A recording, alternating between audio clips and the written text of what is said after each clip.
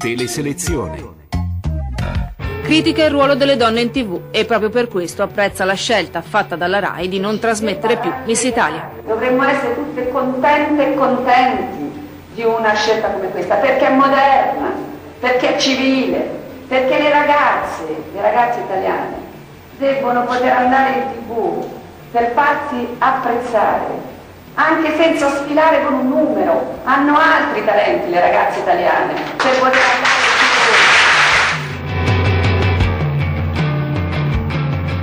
Buongiorno a Michela Marzano, deputata del Partito Democratico, editorialista di Repubblica che oggi sul quotidiano di Largo Fochetti ha preso carta e penna e ha detto sì, sono d'accordo con la Boldrini, eh, c'è un'umiliazione della donna in questo spettacolo. La saluto, qui con me c'è Roberto Corradi. Eh, onorevole Marzano ci spiega bene perché eh, sottoscrive questa tesi? Dunque sottoscrivo questa tesi perché effettivamente eh, se si guardano un po' le trasmissioni della televisione italiana ci si rende conto che c'è una presenza molto relativa delle donne, cioè le donne continuano nonostante tutto ad essere presenti ma come sfondo, come se si trattasse un po' di oggetti del decoro piuttosto che come persone capaci esattamente come gli uomini di poter esprimere opinioni, di poter dare il proprio punto di vista di poter ragionare, per cui eh, effettivamente eh, siamo di fronte ad un problema. Cioè nel 2013, nel momento in cui tutti sembrano essere d'accordo sulla, sull'uguaglianza, sulle pari opportunità che caratterizzano le donne e gli uomini e poi in realtà quando si tratta di vederle all'opera, cioè di permettere alle donne di esprimere le proprie competenze, la propria capacità di argomentare, la propria parola, eh, in realtà tanti programmi, tante trasmissioni televisive fanno difetto. Eh, ma allora per decreto questo mm, ipotetico gap, eh, lei scrive nel suo articolo, una ricerca dell'ONU rivela che solo il 2% delle donne parlano su temi eh, sociali e professionali, cioè si cancella Miss Italia, si mettono un po' di bracchettoni e miracolosamente si promuovono le donne intelligenti? Io non ci credo. No. No, no, ma nemmeno io, non si tratta né di decreti né di cancellare necessariamente delle trasmissioni esistenti.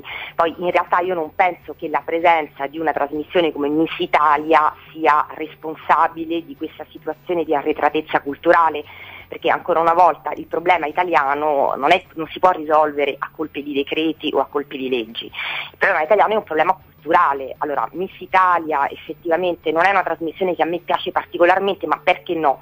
Esistono delle Miss in tutto il mondo e non è quello che impedisce poi alla donna di essere altro. E il problema forse, anzi credo che sia questo, il problema nella televisione italiana è l'assenza di modelli alternativi, quindi non si tratta di cancellare necessariamente una serie di trasmissioni in cui le donne sono lì per mostrare quanto sono belle, ma si tratta di permettere alle altre, cioè a donne che fanno scelte diverse, scelte alternative, di poter essere presenti e esprimersi.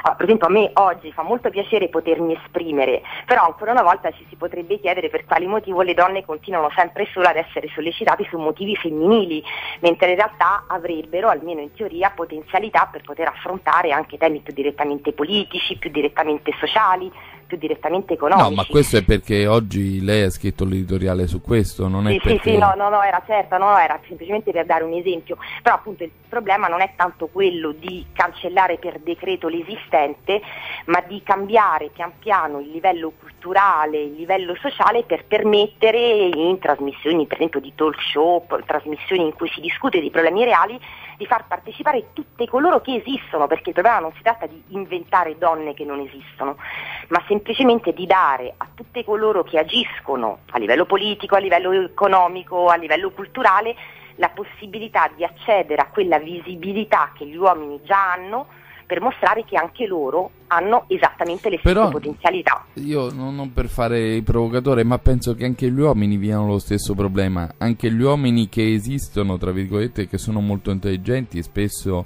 devono cedere il passo a uomini più visibili che magari hanno un'aura, cioè voglio dire, nessun uomo si sente umiliato se il calciatore del Milan parla per ore e viene intervistato come un saggio. Sì, no, no, no ma io sono, sono, d'accordo, sono, d'accordo, Il problema non è tanto essere umiliati se la soubrette, la cantante prendono la parola e parlano. Eh, il problema per le donne più che per gli uomini è l'assenza di altro, eh, cioè esistono anche uomini diversi che hanno carismi diversi, che hanno talenti diversi, che sono presenti e che sono visibili o che sono più visibili di quelle donne che invece hanno difficoltà ad avere accesso poi al dibattito Ma pubblico. è così? La più importante showman eh, italiana forse è Luciana Littizzetto, qualcuno l'ha discriminata? È la donna, no. come dire, più sapida, arguta, fa volare le curve di ascolto e ahimè lo so io che l'ho sfidata. Non mi pare che ci sia una, una qualche discriminazione perché è donna. Alba Parietti, una delle opinioniste diciamo più trasversali, più gettonate, una donna intelligentissima, se poi ha ballato sono affari suoi e la cosa non mi colpisce. Eh, editorialiste come Maria Giovanna Maglie, ex Miss Italia come Miriam Leone, conducono dei programmi con grande professionalità, cioè c'è, possiamo dire che di fronte eh, la donna, la regina della domenica di Canale 5, può piacere o non piacere, però la, la D'Urso è una, è una donna, è anche abbastanza come dire, eh, rocciosa. Cioè, dove sarebbe questa discriminazione? Cioè, ci sono direttori dei telegiornali donna, ci sono conduttrici donne, ci, cioè non vedo una ghettizzazione delle donne. No, però tra ghettizzazione, che effettivamente non, per fortuna non siamo più di fronte a un fenomeno di questo tipo, e ancora una percentuale così bassa, questa ricerca dell'ONU che è stato fatto calcola che il 2% delle donne sono presenti quindi è proprio anche a livello quantitativo.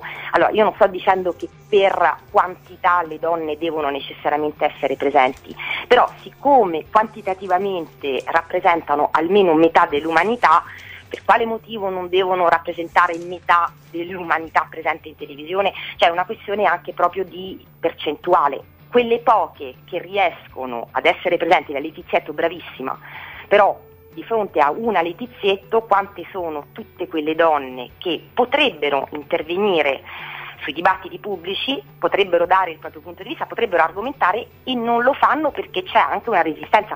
Allora, io tra l'altro con questo non voglio dire eh, che accada solo in Italia, eh. questo è un dibattito che conosco, che bene anche, c'è anche in Francia. In Francia? Sì, c'è anche in Francia, nel senso che sistematicamente si cerca di mettere in evidenza il fatto che le donne che partecipano a dei dibattiti intellettuali, a dei dibattiti politici, sono molto meno rispetto agli uomini e eh, spesso la risposta che viene data da alcuni uomini è quella di dire ma in realtà le donne noi le sollecitiamo, però loro per problemi di fiducia in loro stesse non accettano. E questo effettivamente è falso invece, perché che ci siano talvolta problemi di autostima, per carità, è vero per gli uomini esattamente come è vero per le donne, però è la scusa che viene messa davanti per spiegare per quale motivo in un dibattito in cui partecipano, non so, 6 o 8 persone c'è una donna. Quindi è un dibattito effettivamente che da tempo... A me capita spesso di fare dibattiti con otto persone e una donna, cioè per esempio magari dovendo invitare esponenti del governo capita spesso che essendo un governo prevalentemente maschile inviti ospiti prevalentemente maschili. Certo, ma infatti questo, lei ha perfettamente ragione, è il problema in realtà poi alla fine che si riscontra in televisione è un problema più generale a livello della società, cioè nonostante tutto le donne sono minoritarie in posizioni di responsabilità. E ancora una volta il problema eh, è quello che eh, sono minoritarie nonostante il fatto che mostrano sempre di più di avere competenze uguali e talvolta anche superiori a quelle maschili. Quindi effettivamente è un problema che va eh, purtroppo molto al di là del semplice problema televisivo. Bene, allora grazie a Michela Marzano che sicuramente ha portato il dubbio dentro questo dibattito. Noi la inviteremo sempre, quindi buon lavoro e buongiorno. Grazie altrettanto. Dobbiamo fermarci?